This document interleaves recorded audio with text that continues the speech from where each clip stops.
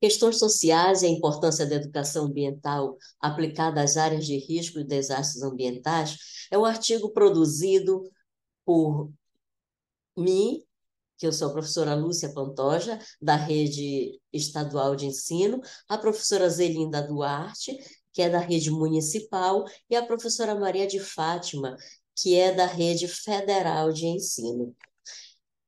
Neste artigo, nós vimos tratando é, questões sociais e a importância da educação ambiental nas, nas áreas de riscos dos desastres ambientais.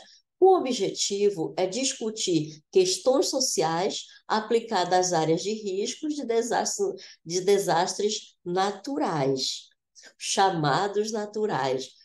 Logo na introdução, nós trouxemos a conexão homem-natureza e natureza-homem, essa, essa conexão que correlativa, né, que o homem depende da natureza, natureza dependendo do homem, as ações antrópicas, né, que são aquelas ações realizadas pelo homem, e dentro desse processo, nós temos uma das causas preponderantes, que é o processo de ocupação ou de planejamento urbano desajustado para as moradias.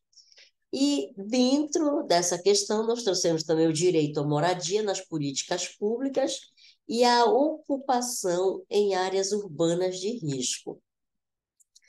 É, tratando de, dos desastres naturais, nós trouxemos a questão do desastre natural causado pelo homem, que são aqueles que decorrem normalmente das tentativas humanas de controlar a natureza e os desastres naturais causados pela própria natureza, né? que é aqueles que nós chamamos de que a causa natural. Só que ressaltando que essa causa natural, geralmente ela é potencializada pela vulnerabilidade humana decorrente da conjugação de diversos fatores. Dentre esses fatores, nós podemos destacar o crescimento populacional desordenado, a segregação socioespacial, a acumulação de capital fixo em zonas perigosas, as mudanças climáticas, os assuntos sociais e a desigualdade social nós tratamos sobre a questão, que é uma questão muito importante para a gente chegar, é, que, nós, que nós precisamos atentar, é a questão do déficit de moradias no Brasil. Nesse déficit, nós analisamos o que? Existe a questão cotidiana, a necessidade e a precariedade. Ou seja, dentro da questão cotidiana, nós temos a dificuldade das habitações nas áreas urbanas, a inadequação das moradias, os assentamentos em locais precários, o, e um, um fator que a gente sempre esquece, que, que é a especulação imobiliária. E a necessidade Dentro da necessidade, precisa-se trabalhar que o déficit habitacional ele está relacionado à necessidade de criação de novas moradias e também em razão da moradia precária. Ou seja, no Brasil nós não temos apenas necessidade de moradias, nós temos também a questão da moradia precária. E que essa moradia precária ela também precisa ser trabalhada, porque é, está, pessoas estão morando ali em condições vulneráveis. Foi tratado a questão do direito à moradia, que é visto lá no artigo 6 da Constituição.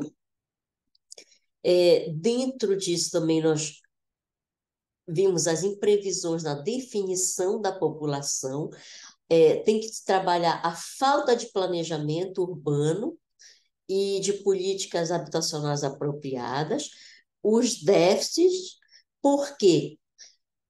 porque aqui nós temos uma política que preza né, pela gestão do risco e não pela eliminação do risco. Ou seja, se procura, é, depois do desastre, é que vai trabalhar. E não na antes de acontecer o desastre. É aqui é que entra a educação ambiental na gestão das áreas de risco. O que é que nós propomos? Que através da educação ambiental, muitas atitudes de risco podem ser minimizadas ou mesmo erradicadas, e que a educação ambiental proporciona o conhecimento sobre os impactos e riscos ambientais e populacional que a instalação de moradias e os empreendimentos nesse espaço podem causar. Ou seja, a educação ambiental agindo para, para que as áreas de riscos sejam mapeadas e evitem assim o que os desastres ambientais. E aqui nós damos algumas dicas sobre duas obras, né, que é o Cortiço, do Luiz de Azevedo, e o Quarto de Despejo, que é uma obra atual da Carolina Maria de Jesus, através das quais nós podemos ver que a questão de moradias no Brasil é uma questão cultural. Não poderíamos também de deixar de falar sobre o, o trem das 11, que também é uma sugestão de, de, de audição, né? Nós, e a saudosa maloca. Então, dentro, é, são sugestões de leitura e de música para que nós possamos trabalhar e compreender melhor a nossa questão da moradia, que isso está muito arraigado à nossa questão dos as questões sociais.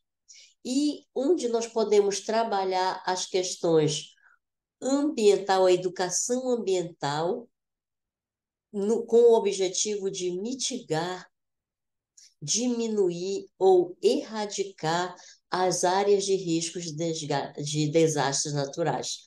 Agradecemos e indicamos a leitura. Um grande abraço. Beijo no seu coração.